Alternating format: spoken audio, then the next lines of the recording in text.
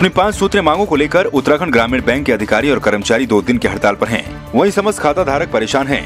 ग्रामीण क्षेत्रों से बैंक आए लोगों को निराश होकर वापस लौटना पड़ रहा है जिनके मरीज़ हॉस्पिटलों में हैं, उन्हें दवाई खरीदने के लिए भी एक दूसरे की मदद का सहारा लेना पड़ रहा है वहीं ग्रामीण बैंक के अधिकारी कर्मचारी संयुक्त मोर्चा ने प्रदर्शन करते हुए कहा कि बैंक कर्मचारियों की मांगे काफ़ी लंबे समय से चली आ रही हैं। सरकार के द्वारा इसका कोई निराकरण नहीं किया जा रहा है उन्होंने बताया कि सुप्रीम कोर्ट के पेंशन समानता के निर्णय को लागू करने के लिए अस्थायी अंशकालिक कर्मियों को नियमित मृतक आश्रितों को नौकरी योजना लागू करने और अन्य मांगों को लेकर लगातार आंदोलन किए जा रहे हैं।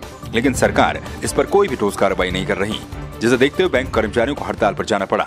हमारी जो मांगों को बताया गया था, उसको भटकाते हुए उस हिसाब से वो हमें लागू नहीं कर रही है, उसके मामले में है। सभी स्थायी अंशकालिक कर्मियों को विनियुक्ति करने का मामला है। और अन्य भत्तों में जो हमारे जो है स्पॉन्सर बैंक के बराबर नहीं दिया जा रहा है। मृत्यु आश्रितों को जो है नौकरी नहीं दी जा रही है। उस प्रोन्नति और भत्ती नियमों में पूर्ण समानता नहीं है। इस मामले में हमारी मुख्य मांगे हैं।